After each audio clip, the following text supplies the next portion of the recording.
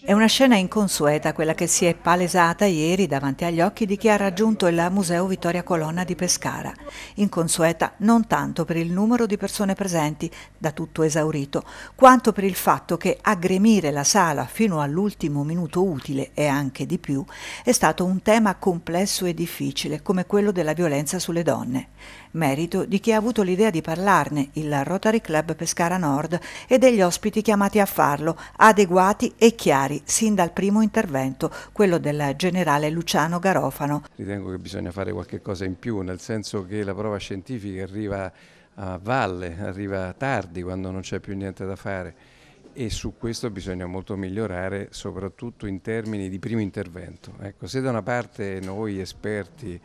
abbiamo ricevuto dalla scienza delle possibilità incredibili che erano impensabili fino a qualche anno fa. Eh, rimane ancora troppo superficiale spesso il primo intervento. Mi riferisco alla prima pattuglia, mi riferisco al 118, ai sanitari,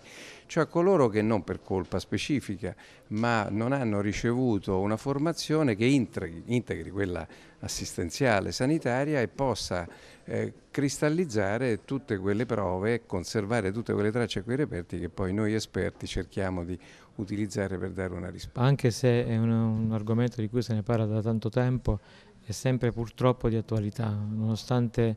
eh, le trasmissioni siano piene di questi di, di racconti di queste povere persone che sono vittime di violenza, però le cronache sono piene ogni giorno di questi episodi, quindi abbiamo voluto affrontare questo, questo triste tema e soprattutto perché noi vogliamo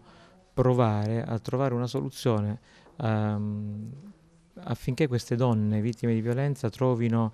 un, un, riparo, un centro di accoglienza, un centro di ascolto. Il lungo pomeriggio si è concluso con l'intervento di Jessica Nutaro, la giovane donna che venne sfregiata con l'acido dall'ex compagno e che ha scelto di dare visibilità al suo dramma, di raccontare la sua storia per aiutare altre donne. È un modo per me per esorcizzare la cosa, nel senso che parlarne, riparlarne in continuazione mi aiuta a superare il trauma e sicuramente dà un senso a quello che è successo, nel senso che nel momento in cui metto a disposizione quella che è la mia esperienza per dare una mano agli altri, allora riesco anche a dare un senso a tutto quello che, che è successo.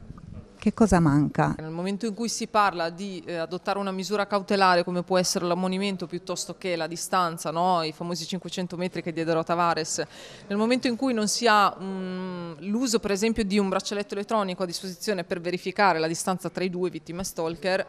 eh, non ha senso parlare di, di, misura cautelare perché non è sicura, non è controllata, non è adeguata e quindi poi succedono i danni.